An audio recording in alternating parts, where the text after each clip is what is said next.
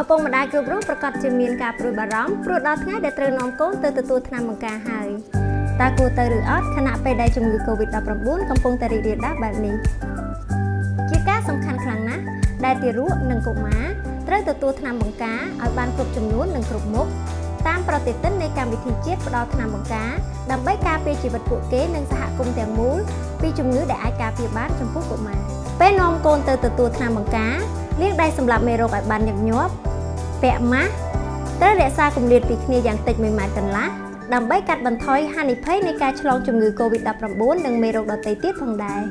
ការនាំកូនទៅទទួលថ្នាំបង្ការតាមការណាត់របស់បុគ្គលិកសុខាភិបាលគឺជាក្តីស្រឡាញ់ដែលឪពុកម្ដាយជួយឲ្យកូនកូនមានសុខភាពល្អ